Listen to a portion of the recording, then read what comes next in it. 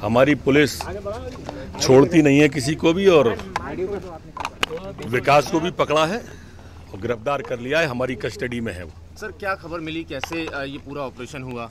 अब इंटेलिजेंस की बातें सीधी नहीं बताना चाहिए अभी फ़िलहाल।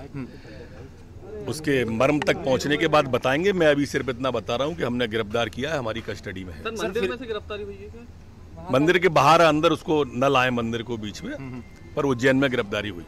सर ये भी बताया जा रहा है कि कुछ पुजारी या कुछ लोगों ने उसका चेहरा पहचाना उसके बाद पुलिस को इन्फॉर्म किया या पुलिस ने सीधे इंटेलिजेंस की बात भी बताएँगे। पहले हमको मर्म तक आने दो बाकी की चीज़ों को पता करने दो।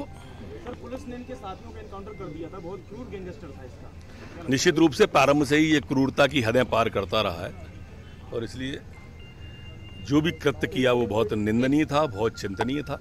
और मध्य प्रदेश को बड़ी कामयाबी मिली है। और पूछो। एमपी पुलिस को ये आशंका थी क्या कि यूपी से वो एमपी में आ सकता है? क्योंकि ग्वालियर वारदात होने के बाद से ही हमने पूरी मध्य प्रदेश की पुलिस को अलर्ट मोड पर रखा था और पूरी निगाह रखी जा रही थी और गिरफ़्तार किया।